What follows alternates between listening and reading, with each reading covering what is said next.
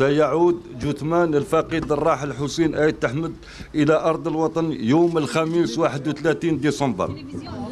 وستل- وستلقى على على جثمانه النظرة الأخيرة في نفس اليوم بالمقر الوطني للحزب.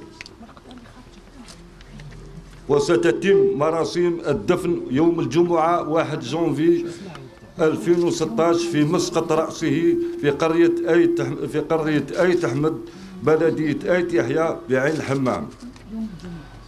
مراسيم الدفن ستكون وطنية وشعبية.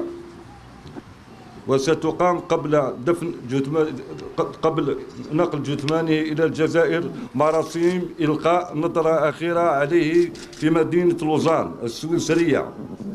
يوم الثلاثاء 29 ديسمبر.